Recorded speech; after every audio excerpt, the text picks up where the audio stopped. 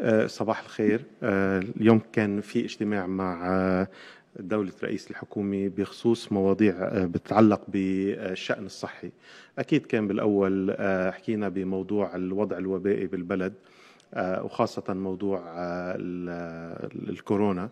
ومثل ما وزارة الصحة بالسابق قالت نعم هنالك أعداد عم تكون متزايدة ولكن نحن هيدي هالأعداد هيدي عم نشهدها عادة بموسم الصيف. وزارة الصحة عم تعمل ترصد للحالات اللي بالمستشفيات أو خارجها.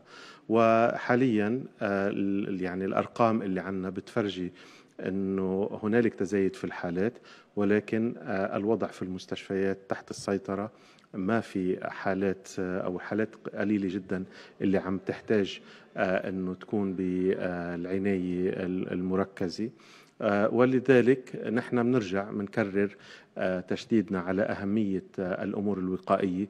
المرضى اللي عندهم أمراض مصاحبة أو أكثر عرضة آه، إنه نحن بننصحهم وخاصة الكبار بالعمر ياخذوا اللقاح لحماية أنفسهم. والناس اللي عندهم عوارض إنه يتجنبوا المخالطة. وأي شخص اللي عنده مشكلة بالمناعة أو كذا إنه يكون يستعمل وسائل الحماية الشخصية مثل الكمامة وغيرها آه، وطبعا وزارة الصحة حتطلع المواطنين على أي جديد بهذا الموضوع إذا في داعي.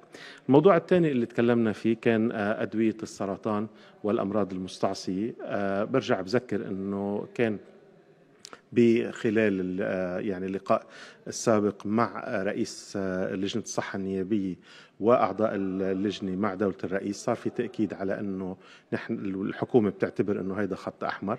وذلك موضوع الدعم هو مستمر والتمويل آه، موجود. وهذا اللي حيكون يعني آه، إن شاء الله مع آه، سعادة الحاكم بالإنابة باللقاء اللي حيكون بين رئيس الحكومة والحاكم لحتى نحن نكفي بالآلية التي كانت متبعة آه، لحتى نأمن هالدواء للشعب اللبناني. وارجع بأكد أنه هذا بالنسبة للحكومة يعتبر خط أحمر.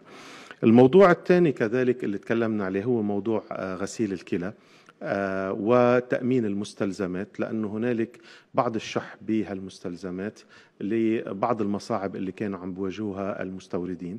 بهذا الموضوع سوف يتم لقاء غدا بوزارة الصحة بين الجهات الضامنة الرسمية والمستوردين ونقابة المستشفيات للبحث في حلول لهذا الموضوع. ولكن كذلك برجع بأكد أنه بالنسبة لمرضى غسيل الكلى الخدمة حتكون مستمرة ولن وأي حل لن يكون على حساب المريض.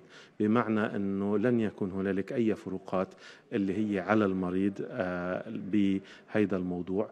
وسوف يكون الحلول ما بين الجهات الثلاثة اللي ذكرتم فيها. طبعا هنالك أمور متفرقة أخرى أطلعنا عليها دولة الرئيس بخصوص بعض آه، المشاريع الجديدة اللي حتكون تفتتح بالمستشفيات الحكومية وخاصة هي تتعلق بخدمة مرضى آه، السرطان آه، وكذلك توسعة لبعض أقسام غسيل الكلى. وهذا طبعا بيساعد المرضى بيسهل عليهم التنقل لحتى ما يضطروا يتنقلوا لمسافات بعيدة للحصول على الخدمات.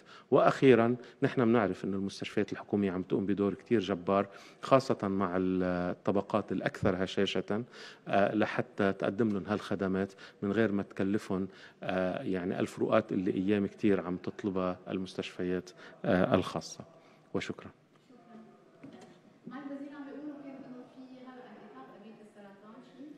لا نحن في الموضوع دائما بيصير إنه لما آه، بصير في عنا آه، مواضيع لها علاقة بالتمويل. بنشوف إنه أيام بعض الشركات في الخارج بتصير بتبطئ من آه، إرسال هالأدوية. هذا الموضوع نحن حليناه لأنه لقينا الآلية وفي هنالك اجتماع حيكون نهار الجمعة مع نقابه المستوردين بس لحتى نحط النقاط على الحروف. ولكن حاليا الدواء عم بيكون مأمن عبر منصة التتبع اللي موجودة والغالبية العظمى من الأدوية موجودة. مش صحيح الكلام اللي انقال إنه هنالك 40% أو غيره هو كلام آه، غير صحيح ابدا.